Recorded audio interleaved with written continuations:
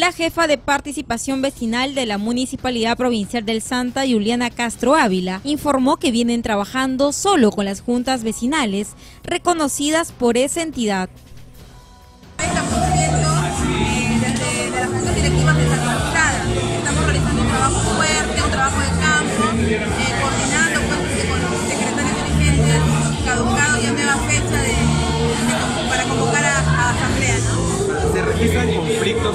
directivas, algunas que tienen los cargos y otras que no los reconocen?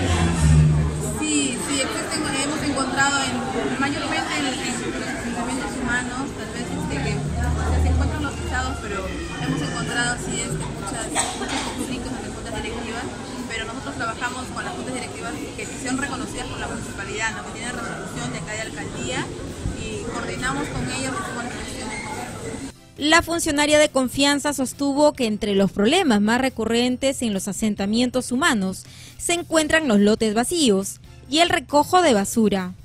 Bueno, mayormente, eh, bueno, en la actualidad como vemos es la existencia de, lotes vacíos que existen en diferentes asentamientos humanos, ¿no? Eh, como ya también se, sabe, la municipalidad está haciendo un trabajo coordinado con diferentes áreas de acá y también este, con Defensoría del Pueblo, Fiscalía, para poder recuperar esos lotes vacíos eh, y poder este, ser revertidos en la municipalidad y entregarlos a personas que realmente necesitan.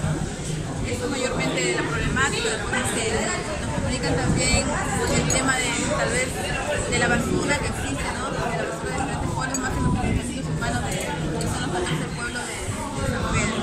La Municipalidad Provincial del Santa informó que vienen organizando las elecciones en el 40% de los pueblos jóvenes de Chimbote.